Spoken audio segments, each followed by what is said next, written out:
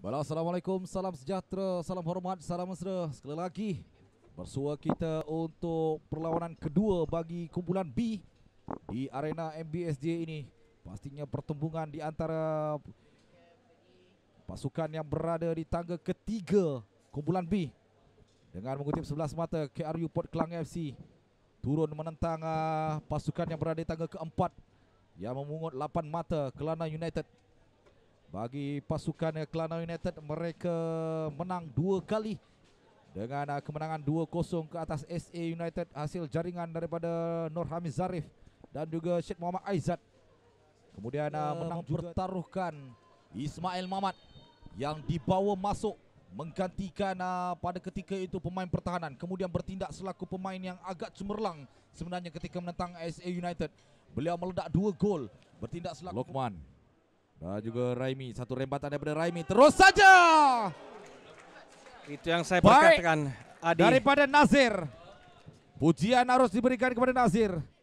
Tepat kemas Tangkapannya.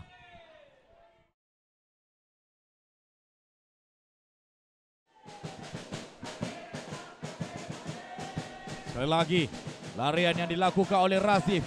Tidak ada pertahanan yang memberi asakan. Ada ruang untuk Razif Berjaya juga melepaskan rembatan Dengan uh, dua asakan daripada Pemain pertahanan Kelana United Kita saksikan Larian pemain ini Cukup berbisa Larian juga dilakukan oleh Rosli untuk membuka ruang Namun atau lakannya Rizwan cuba melakukan counter attack Larian yang amat positif daripada Rizwan satu hantaran untuk mencari jaringan. Tidak.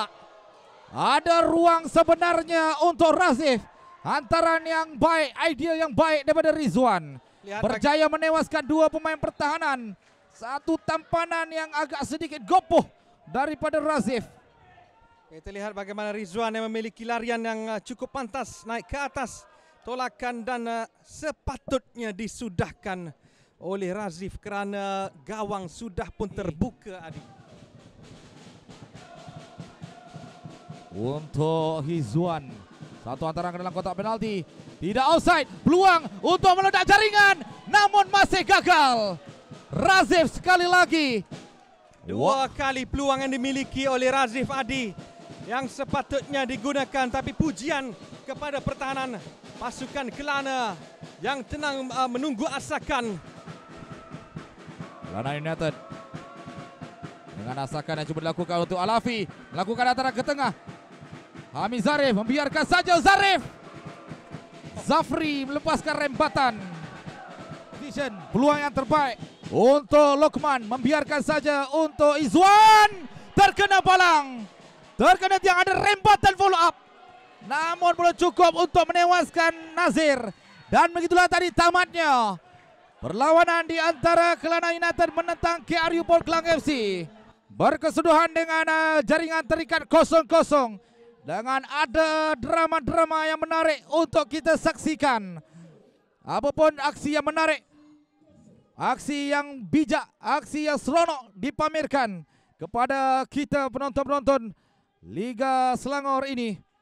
Keputusan berakhir dengan KRU kosong Kelana United kosong. Terima kasih kepada anda yang setia bersama dengan kami. Jumpa lagi. Assalamualaikum. Salam sejahtera. Secara tak langsung, uh, secara keseluruhannya keputusan seri memadai lah untuk malam ni. Cuma kita tak ambil take advantage over, uh, overall dengan kehilangan KRU kehilangan seorang pemain kerana tak dapat menggunakan peluang ni untuk meraih kemenangan tiga mata untuk malam ni. Ya, yeah, uh, last game Kajang SA Bujangga kalau ikut keputusan kita pun tak nak ambil senang, ambil result orang. So kita kena all out for the last game untuk 3 point uh, untuk layak ke pusingan seterusnya. Assalamualaikum. Seperti maklumlah, referee lagi lah. Tapi saya dah tak nak komen panjang uh, antara insiden yang berlaku kat merah tadi. Tapi uh, walaupun kita bermain uh, 10 orang, kita bermain dengan baik. Kita control position cuma dua chance yang uh, berharga tidak uh, convert gol. Dan free kick yang last minute tadi terkena uh, tiang gol. So uh, bila kita tak menjadikan gol, draw lagi. Uh, masa dari dulu kita hanya bagi semangat, main macam biasa, main KRU punya plan dan uh, ada luck kita menang.